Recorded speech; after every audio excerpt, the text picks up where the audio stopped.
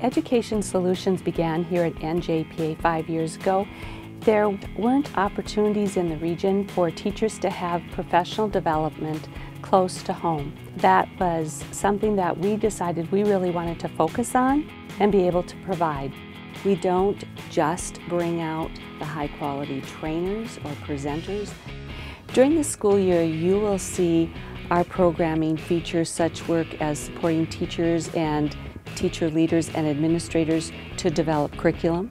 It may be working alongside of them with their data retreats or professional learning communities to perfect that work.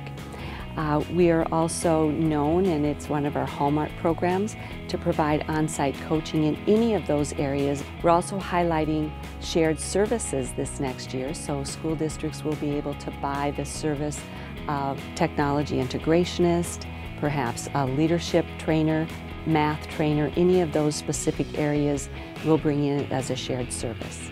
Not only was it the desire of NJPA and Education Solutions, but also we started to hear the professionals voicing that.